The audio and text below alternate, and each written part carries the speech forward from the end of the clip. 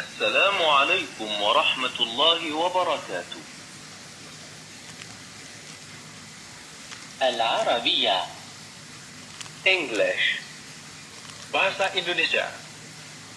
Setelah sholat, kita membaca doa, yaitu permintaan kepada Allah tentang apa saja yang kita butuh. Ayatul Kursi.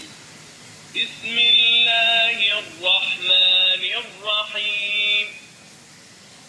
Wudhu adalah cara kita membersihkan diri sebelum sholat kiblat.